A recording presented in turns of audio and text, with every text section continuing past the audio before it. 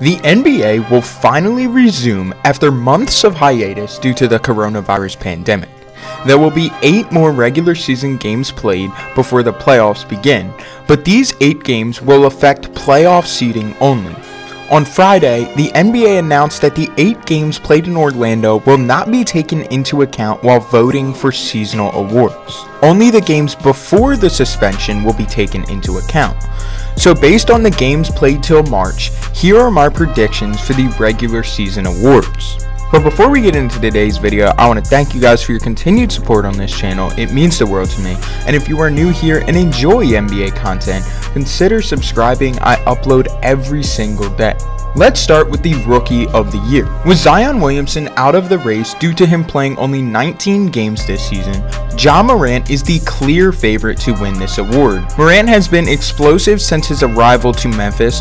On offense, he has all the fundamentals of an elite point guard and is averaging 17 points and almost 7 assists per game this season. Morant has also helped lead the Grizzlies to a 32 and 33 record this season and looks to secure their first playoff berth since 2016. Now let's move on to Six Man of the Year. After Lou Williams won this award for the past two seasons, Oklahoma City Thunder guard Dennis Schroder looks to nab the title this year. He has been their main scorer off the bench this season, averaging 19 points per game at a career best 46% from the field. And after ESPN gave the Thunder a 0.2 chance of making the NBA playoffs this season, Schroder has been at the fore of their playoff charge and has helped them to qualify convincingly where they currently sit at the 5 seed in the West. Now let's move on to Defensive Player of the Year, and I think this award is one of the closest races all season. Only Michael Jordan and Hakeem Olajuwon have won NBA MVP and Defensive Player of the Year in the same season. Giannis Antetokounmpo could be on his way to join that exclusive club. After being runner-up last season, Giannis has stepped up his defense this season even further. His blocks per game may have gone down, but he has stepped up with his rebounds and is leading the league in defensive rebounds.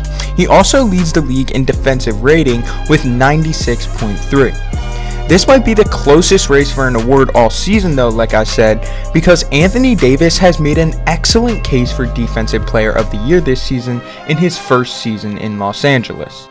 Now let's move on to the biggest award every year, that being Most Valuable Player. Now LeBron James has had an excellent season this year at age 35, but the king will see his crown go to the Greek freak Giannis Antetokounmpo for the second straight year. After winning the award last season, Giannis has only become better. This season, he's averaged a career high 29 points and 13 rebounds per game, and after being criticized for his shooting from beyond the arc, Giannis has increased his three point percentage from 25% to 30% this season. Still only 25 years old, Giannis's potential doesn't have any limits and could result in even more MVP awards.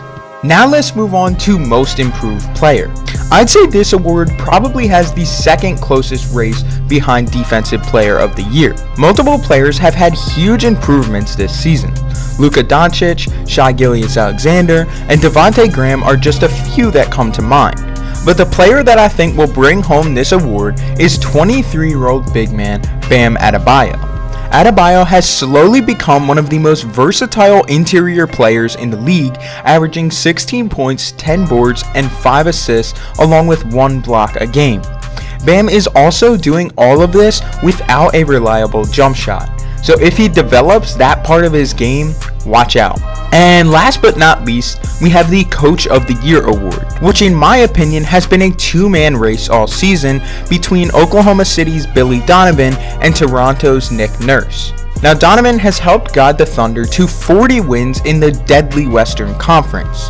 But my winner for Coach of the Year this year is arguably the best coach in the league, that being Nick Nurse. After winning the title last season and then watching their team's best player leave in free agency, Nurse has helped Toronto right back on top. Toronto is currently the 2 seed in the East and on track to win 50 games this season, which would only be 8 less than last year's 58 and 24 record. And that's the video guys. If you enjoyed, be sure to leave a like and subscribe as well as let me know your guys' award predictions for this season in the comment section down below. And I hope to see you guys in the next one.